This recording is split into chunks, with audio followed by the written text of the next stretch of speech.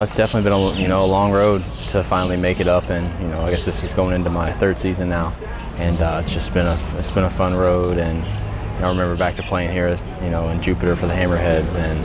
just thinking about you know being up there one day, and, uh, worked hard, and dreams come true, and it's been great so far. Definitely, you don't want to put too much pressure on yourself. You know, just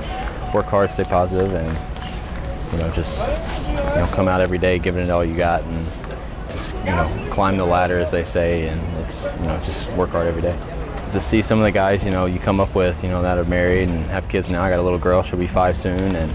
just you know the process and you know you look back and you feel like it was a year ago but it was you know three four years ago and just time flies by and but it's been good